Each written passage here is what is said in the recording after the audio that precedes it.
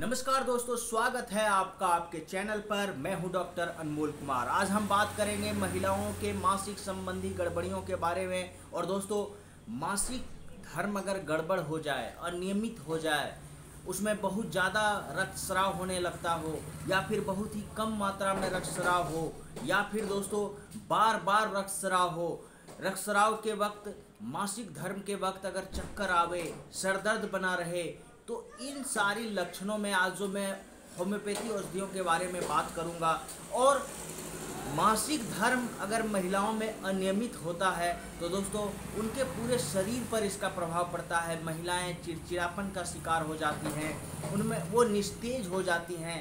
और दोस्तों, उनका आप देखेंगे कि उनके पूरे दिनचर्या पर इसका बहुत ज़्यादा प्रभाव पड़ता है। तो आइए दोस्तों, जानते हैं होम्योपैथी में वो कौन कौन सी दवा है जिससे हम अनियमित मासिक में उपयोग करके महिलाओं को लाभ दे सकते हैं। इसमें मुख्य तौर पर जो दवा है, वो है दोस्तों पल्सा टीला, कॉफिया क्रूडा, मैग्नीशियम कार्बोनिकम। इसमें दोस्तों हेमामलिस है। इसमें दोस्तों आप देखेंगे कि बोविस्टा जैसे लक्षण आपको देखने को मिलते हैं कॉस्टिकम है ये सारी दवाइयाँ मुख्य तौर पर जो हमने बात की पल्साटीला की मैग्नीशियम कार्बोनिकम के बारे में बोविस्टा के बारे में दोस्तों हेमामलिस के बारे में कोफिया क्रूडा के बारे में कास्टिकम के बारे में ये सारी दवाइयाँ दोस्तों मह, महिलाओं के अनियमित मासिक धर्म को नियमित करके उनमें दोस्तों एक तेज ला देता है और इस तरह से आप कर सकते हैं कि उन्हें एक स्वास्थ्य लाभ देता है।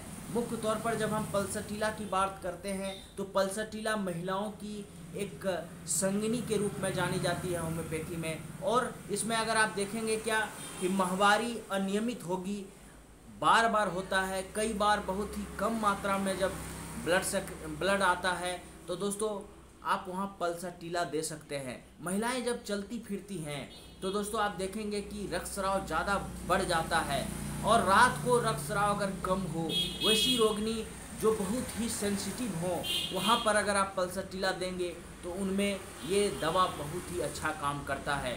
पल्सर टीला का जो ब्लड का कलर होगा, वो बहुत ही लाइट रेड कलर का होता है। और दोस्तों, आप देखेंगे कि कभी कभार मासिक के वक्त, मासिक स्राव के वक्त लिकोरिया जैसे भी लक्षण आपको देखने को मिलते हैं, जो श्वेत प्रदर का लक्षण आपको देखने को मिलेगा तो आप पल्सर टीला देकर ऐसी सेंसिटिव महिलाओं को जो तुरंत रो देती हैं, उनके लिए ये बहुत अच्छा है। पल्सर टीला पर मेरा वीडियो है, आप उसे जाकर देख भी सकते हैं। और दोस्तों, इसमें जो दूसरी दवा है, मैग्नीशियम कार्बोनिकम, इसमें आप देखेंगे कि रक्तस्राव जो है, सिर्फ़ रात को होगा। और दोस्तों आप अगर जग जाती हैं तो आपका रक्तस्राव भी बंद हो जाता है। ये बहुत ही पिकुलियर सिम्टम है मैग्नीशियम कार्ब का। रक्तस्राव जारी होने से पहले जुकाम हो जाता है, नाक बंद रहने लगते हैं, प्रसव जैसी पीड़ा होती है, जो फॉल्स लेबर पेन होते हैं, वो मैग्नीशियम कार्ब का लक्षण है। और ऐसे रोगिनी को अगर आप मैग्नीशियम कार्ब देते हैं अनियमित मासिक धर्म में तो दोस्तों, उनका मासिक धर्म नियमित हो जाता है। और उनमें जो इस तरह के लक्षण हैं, नजला जुकाम का फॉल्स लेबर पेन का ये भी बंद हो जाता है। अगली दवा जो है दोस्तों, वो कास्टिकम है। कास्टिकम माहवारी सिर्फ़ दिन को होती है।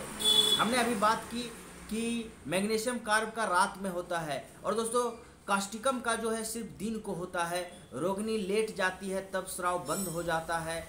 रात को रक्त स्राव नहीं होता। दोस्तों, इस तरह का जो लक्षण है, और आप देखेंगे कि जो बोविस्टा दवा है बोविस्टा कास्टिकम का जस्ट अपोजिट है। बोविस्टा में रक्तस्राव रात को होता है और जब रोगनी लेट जाती है, उठते ही बंद हो जाता है।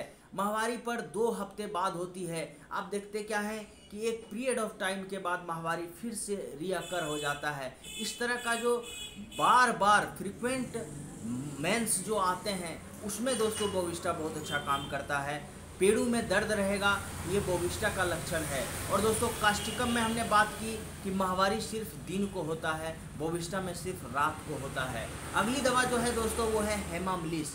हेमामलिस जो है, इसमें माहवारी बहुत अधिक परिणाम में जब होता है, वहाँ पर आप देखेंगे कि बहुत लार्ज क्वांटिटी ऑफ़ ब्लड जब निकलते हैं, बहुत दिनों तक निकलते हैं, जो मुख्य तौर पर माहवारी तीन से चार दिन तक होता है, जो नॉर्मल ब्लड फ्लो होते हैं।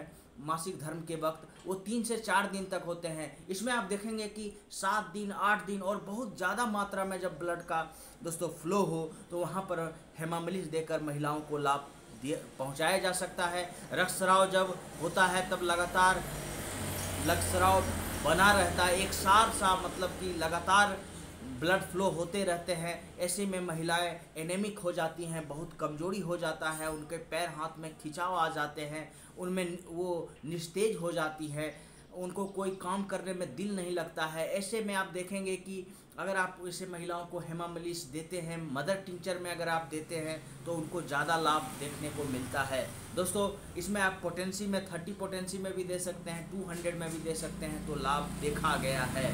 और दोस्तों, मुख्य तौर पर आप देखेंगे कि हेमामलिस के रोगी में पेड़ू में सख्त दर्द होगा, कमर में भी दर्द होगा और पेट में भी दर्द बना रहता है। और एक कमज़ोरी तो देखने को मिलेगा ही, क्योंकि अत्यधिक श्राव के कारण उनमें जो कमज़ोरी आती है, वो आपको पूर्ण रूप से दिखेगा। ऐसे महिलाओं में आप हेमामलिस देकर लाभ पहुँचा सकते हैं। अगली दवा जो है दोस्तों, कॉफिया क्रूडा। इसमें माहवारी सिर्फ़ दिन को होती है, लेकिन दिन को भी माहवारी दोपहर बाद होती है। ये बहुत ही पिक्यूलियर सिम्टम है। आफ्टरनून के बाद अगर माहवारी हो तो कॉफिया क्रूडा उसकी दवा होगी। मुख्य तौर पर जो महिलाएँ हैं, दोस्तों, आप देखेंगे कि पल्सटीला की महिलाएँ बहुत सेंसिटिव होती हैं, पतली दुबली होती हैं, चिड़चिड़ापन की शिकार होती हैं और कॉफिया क्रूडम में जो दर्द की जो अधिकता होती है, वो आपको देखने को मिलेगा। और अगर मेंस आफ्टरनून के बाद, दोपहर के बाद हो तो दोस्तों, वहाँ पर कॉफिया क्रूडा देकर लाभ पहुँचाया जा सकता है। एक अगली दवा जो बहुत ही इंपॉर्टेंट है, महिलाओं के लिए एक बेहद ही खास दवा है, वो है दोस्तों सीपिया। सीपिया में आप देखते क्या है? कि जो बहुत ही पतली दुबली महिलाएँ हैं, बहुत ही चिड़चिड़ा युक्त महिलाएँ हैं, वो अकेले में रहना पसंद करती हैं। वैसे महिलाओं में अगर माहवारी अनियमित पाई जाती है, जल्दी हो, देर से हो बार बार हो, वहाँ पर आप देखेंगे कि बहुत कम मात्रा में कई बार स्केंटी मेंस होते हैं, वहाँ पर भी ये दवा बहुत अच्छा काम करता है। और इसमें जो सबसे बेहतरीन बात यह है कि रोगिणी यह अनुभव करती है कि जरायु आदु, आदि सब जो है, अंग निकल जाएँगे, जो प्रोलेप्स ऑफ़ यूट्रस जैसे आपको भान होते हैं, वहाँ पर सीपिया बहुत अच्छा काम करता है। आंतरिक यंग योनि द्वार से बाहर खिसक आने का जो डर होता है महिलाओं में, और वो क्रॉस लेग्ड अपने को रखती हैं कि कहीं मेरा गर्भाशय योनि से बाहर ना आ जाए। इस तरह का जो लक्षण सीपिया में देखने को मिलता है। तो दोस्तों, वहाँ पर अगर आप सीपिया देते हैं तो महिलाओं का मासिक धर्म ठीक हो जाता है। और इसमें आप देखते क्या है कि महिलाओं में दर्द बना रहेगा बहुत कभी कभी बहुत ज़्यादा मात्रा में ब्लड आएगा, बहुत कम मात्रा में ब्लड आते हैं, ऐसे लक्षणों के लिए ये दवा बहुत ही खास है। तो दोस्तों, आज के लिए इतना ही।